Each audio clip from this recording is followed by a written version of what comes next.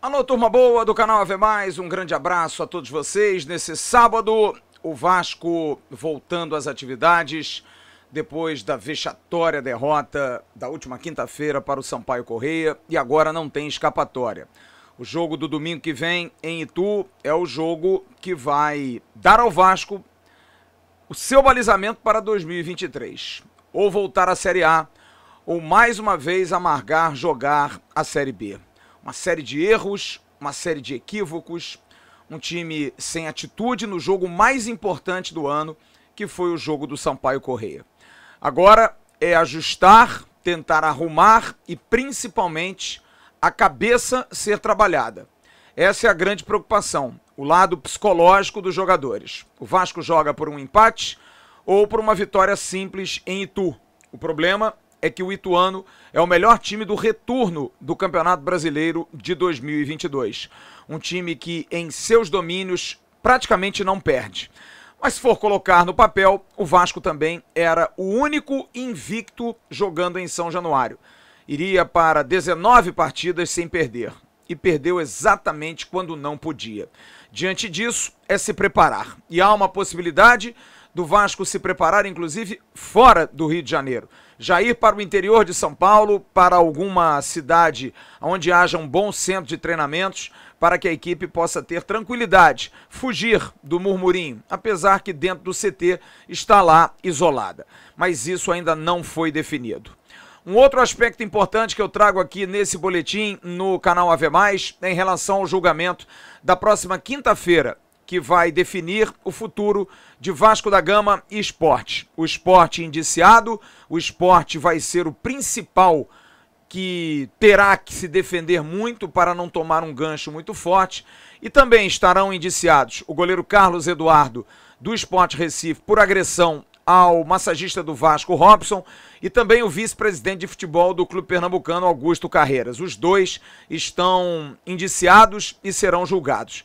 Assim como Raniel e Luiz Henrique, que já cumpriram os dois jogos de suspensão, jogos que foram impostos pelo presidente do STJD, Otávio Noronha, que fez essa punição preventiva, essa punição antecipada. O Vasco ainda tentou um efeito suspensivo, não conseguiu, o que prova realmente que o tribunal está a fim de julgar e de dar penas grandes.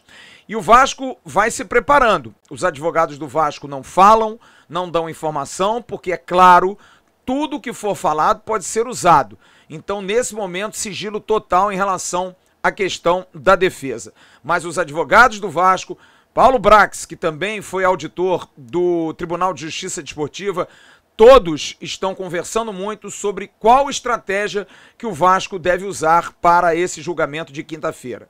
Há uma tendência de que o Vasco entre sim como terceiro interessado, como fez o Cuiabá no julgamento de ontem contra o Ceará. Entrando como terceiro interessado, claro, o Vasco vai brigar pelos pontos. Mas há uma certeza também os tribunais esportivos dificilmente mexem usando de dar pontos para A ou B, mexem na tabela de classificação. E ainda há uma pequena chance, muito remota, do Esporte Recife conseguir a classificação. Ele teria que tirar sete de saldo em relação ao Bahia, que ontem também empatou com o Guarani e que depende apenas de um empate contra o CRB. Diante disso, a dificuldade do esporte se classificar, apesar de ter uma mínima chance, isso imputa uma dificuldade de que o time pernambucano possa, no caso politicamente, já que o tribunal deixa bastante claro, como foi no julgamento de Ceará e Cuiabá, nos votos que não deram a punição de perda de pontos ao time cearense, em que os auditores, os três que votaram a favor de não dar a pena apenas de multa, que seria ruim para o tribunal interferir na classificação.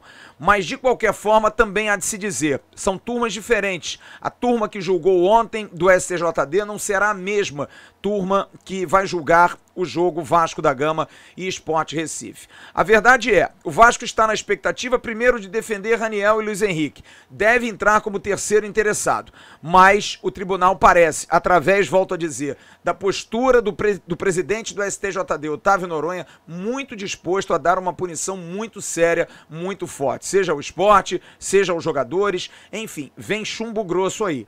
E chumbo grosso talvez seja até a perda de pontos. O Vasco está usando das prerrogativas básicas suas, de que teria direito. Não é algo de vamos subir no tapetão. Não, não é. É a justiça que está julgando o Esporte Recife e que cabe, dentro da lei, pelo Regulamento Geral de Competições, em seu artigo 19, dar ganho de pontos ao adversário em caso do mandante não dar condição de segurança ao estádio de onde estava realizando a partida. Todos esses aspectos serão analisados por essa turma que vai julgar na quinta-feira. E o Vasco está a cavaleiro, mas de qualquer maneira vai marcar presença, vai fazer eh, se valer do direito de terceiro interessado. E fica aí uma estratégia que vai ser montada pelo Departamento Jurídico do Vasco, que é muito competente, doutor Marcelo Jucá, doutora Amanda Boré, Gisele, que agora aciou da área jurídica, o próprio Paulo Brax, enfim, há uma série de implicações em relação a isso. O julgamento é no dia 3 e o jogo é no dia 6. No dia 6 vai se saber se o Vasco joga já com os dois pontos somados à tabela ou então se o Vasco vai ter que jogar mais uma vez a Vera para tentar conseguir o acesso à Série A do Campeonato Brasileiro. Empate ou vitória? É uma situação difícil, mas o Vasco se meteu nela e agora vai ter que se resolver.